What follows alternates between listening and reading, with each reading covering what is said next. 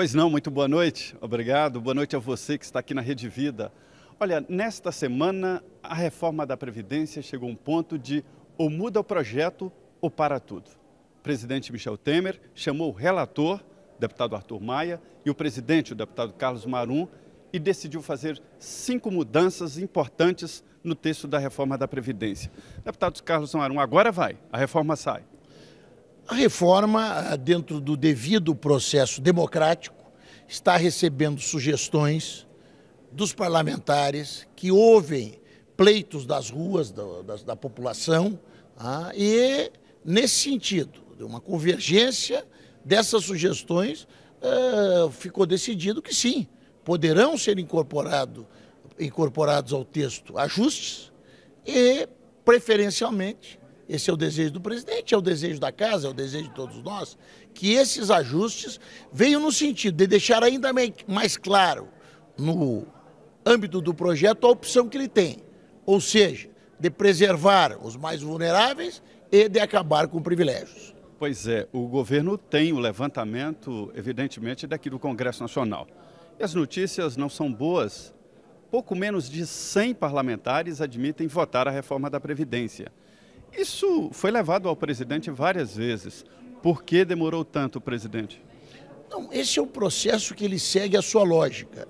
Qual é a lógica do processo? Primeiro, o trabalho de contribuições externas da comissão. Aconteceu, terminou em março. Agora, o debate interno.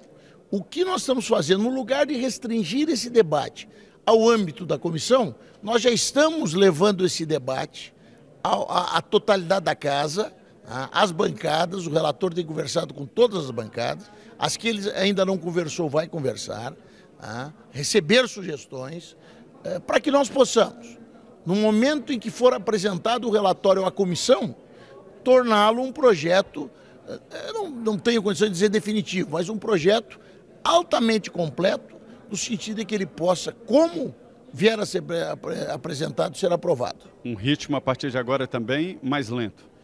Não, não é um ritmo mais lento. Nós estamos concedendo ao relator maior prazo, chega, que eu posso dizer concedendo ao relator? Não, mas estamos concordando, né? existe uma, uma convergência de pensamento, no sentido de que o relator disponha, use mais tempo agora, até para que nós possamos economizar esse tempo na sequência tanto na aprovação aqui no plenário da Câmara, quanto na aprovação no Senado, já que estão também sendo ouvidos senadores nesse processo.